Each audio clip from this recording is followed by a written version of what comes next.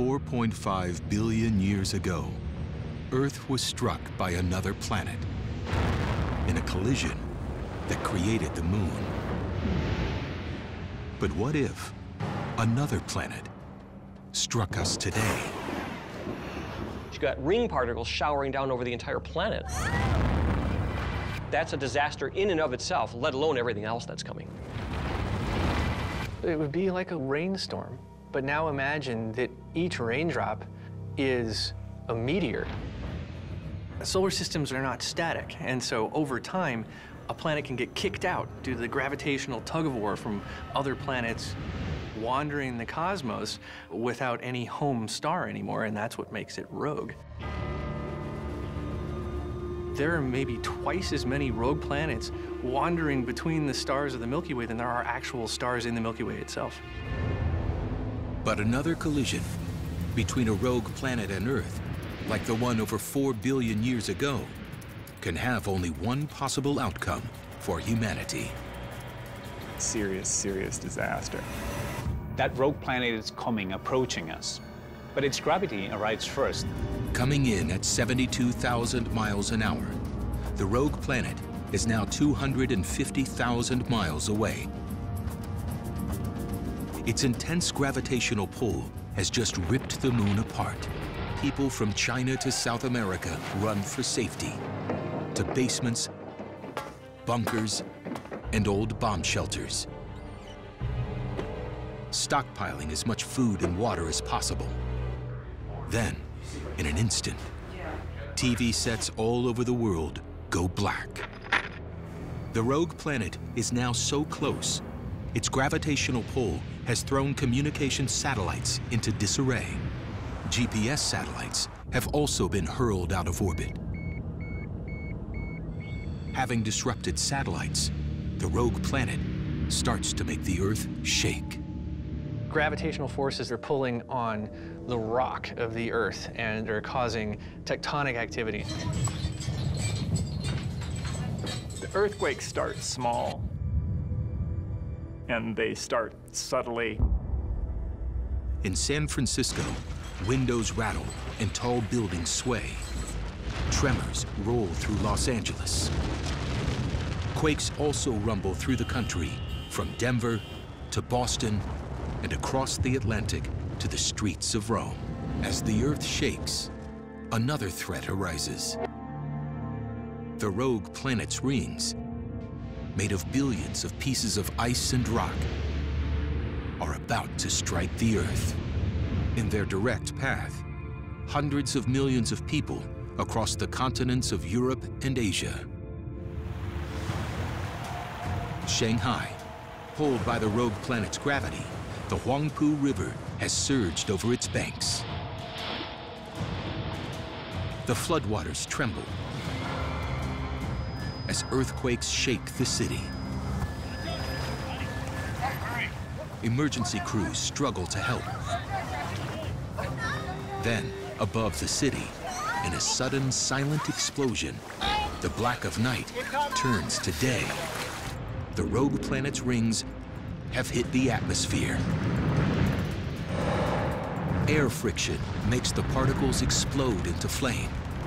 It's what happens when any asteroid or meteor enters our atmosphere. But now, there are hundreds of millions of them. You'd see a tiny dot in the sky that grows in brightness in less than a second to the point that it's overwhelmingly blinding. Millions try to flee the rain of fire and terror from the sky. The mass murder of planet Earth has begun. It would be like a literal rainstorm.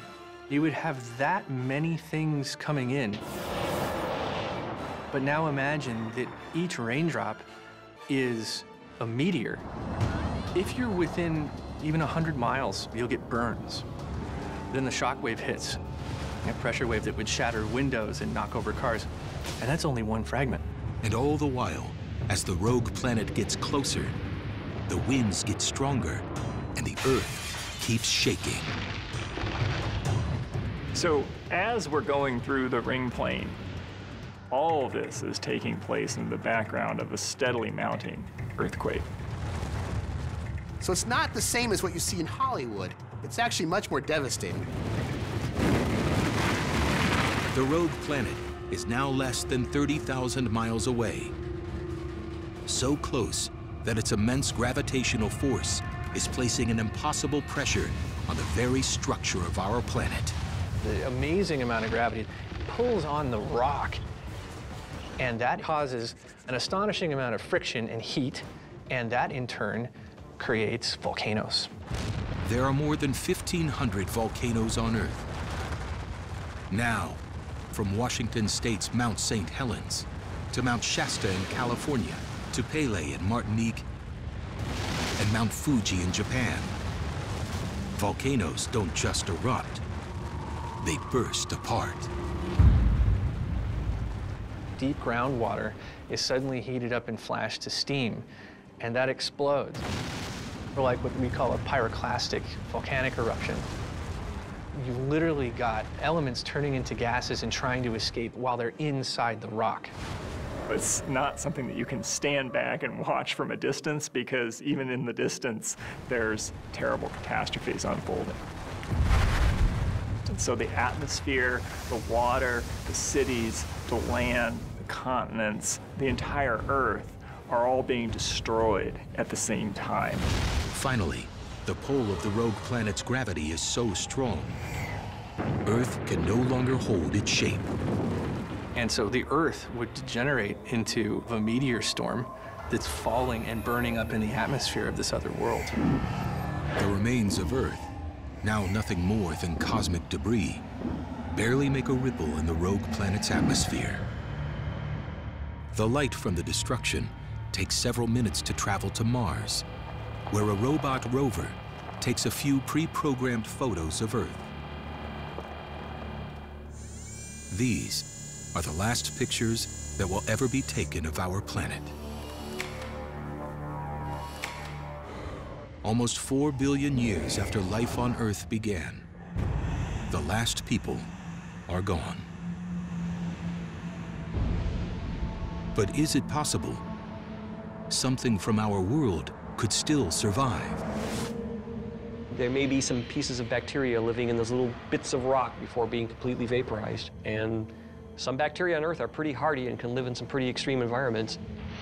It's maybe conceivable that some little bits of bacteria might survive this. One day after the destruction of Earth, the rogue planet continues through space as though nothing happened. But scattered throughout the solar system, there's still evidence that humans once existed.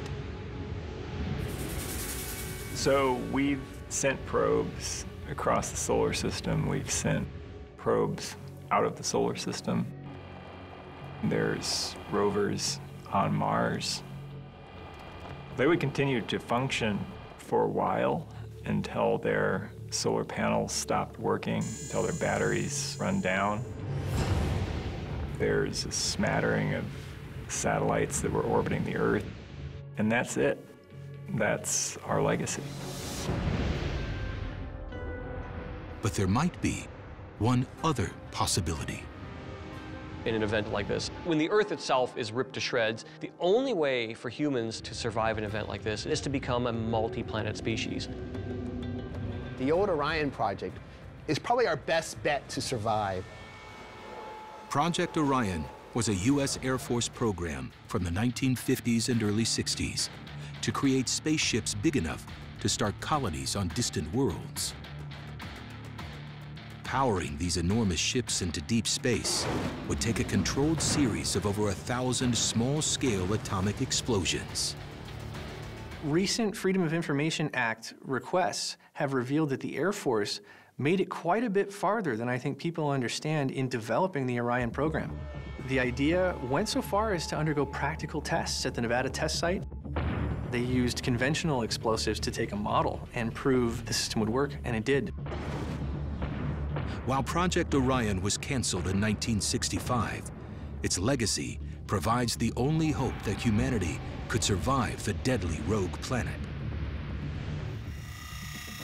that uh, if we had fair warning, say a couple of years before the impact of a rogue planet that looked like it was going to be likely, I could definitely see a scenario where you have a very big push, humanity's last gasp, to create a very large spacecraft.